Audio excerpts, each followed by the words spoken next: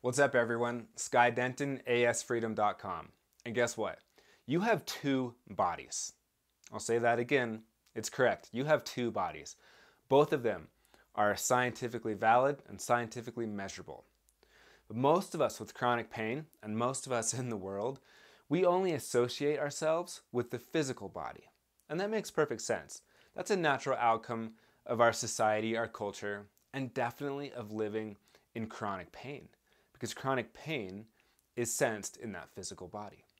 But one of your best friends, one of your most amazing allies, when you are ready to begin moving forward into a life with less pain, is building a relationship with your energetic body. Years ago, when I was crippled in pain, Eckhart Tolle was on an Oprah show. Millions of people watching it. And he said something really interesting that struck a chord with me, and it began my journey into a whole new world that I had never explored before. And it's something that really helped set me free from pain and inflammation. And he was talking about this energetic body. And what he said was close your eyes, be in a quiet place, and see if you can feel your hands from the inside out. Now, the hands are an easy place to start because the hands have a lot of nerve endings in them. So it makes sense that we can be able to feel a little bit better there. So I tried this one afternoon. I sat down, closed my eyes in a quiet place, got comfortable, and I could feel my hands from the inside out. I could feel this tingling energy. And that, my friend, is exactly what he's talking about. Now, that is a really important thing. And if you know me, you know that I love science. I love to break everything apart and deliver to you just the basic scientific version of it so that you understand it, so that you can believe it and understand it. And then you can move on more empowered every single day into a better life. So, this physical body, this is the part of us that is experiencing the inflammation. The energetic part is not. So, I'll ask you a quick question What one of these is in pain? You probably guessed it. It's the physical body. The energetic side of us, that tingling sensation that I could feel in my hands, and you definitely have the ability to do as well, and in other parts of your body, that is not in pain. Okay? They are both part of us, but they're quite different in that sense.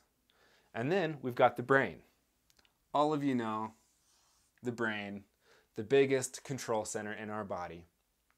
Well, our brain, when it is experiencing pain, it is processing a lot of information from the physical body to the brain and back and forth.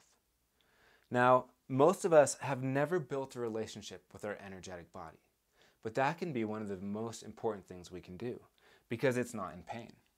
So when you sit down and you feel just that little bit of tingling sensation in your hands or in your feet, and then you do it again and again and again, these pathways, these neurological pathways, are going to develop and they're going to get bigger so the brain can process this information easier.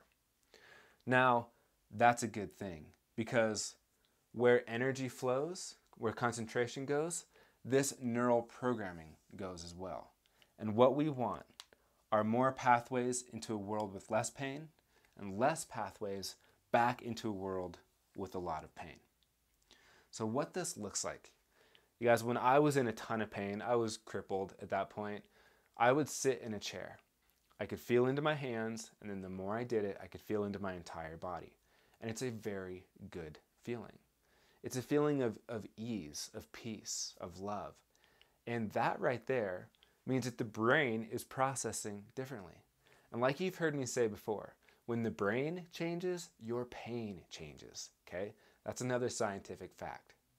So then I could get up out of that chair and I could put my focus onto that part of my body, the part that felt good, instead of the part that didn't. So, what that does, there's very interesting feedback loops from the brain to pain and back. And when you're focused on pain every day, not only are these pathways getting bigger and bigger and bigger and more developed and harder to get rid of, but they are also, your brain, when it senses this pain, also puts more stress hormones back into our body, which causes more pain and more inflammation. So that's a pretty slippery slope. right? And that's how a lot of people get caught in these inflammatory diseases and it totally overcomes them. And you guys, I want you to break this thing apart from the inside out. Your action item for today is twofold. Number one, if you have questions on this, leave them in the comments below. And number two, your homework assignment is to try this out. Find a quiet environment, sit down, start with the hands, it's an easy place, and just see if you can feel that feeling I'm talking about. It's not a concrete, tangible feeling, it's more of an energetic, expansive feeling. It's very similar to after you've had a glass of wine or a beer and you get what's called the body high. That body high is quite similar in my experience. So try it out. If you found this information helpful, do a couple things. Share it with a friend, like or subscribe to this channel or page so you don't miss upcoming videos, which we are already making for you. You guys, my name is Sky Denton. This is AS Freedom, and I congratulate you for showing up and being a more awesome version of yourself than you ever have been.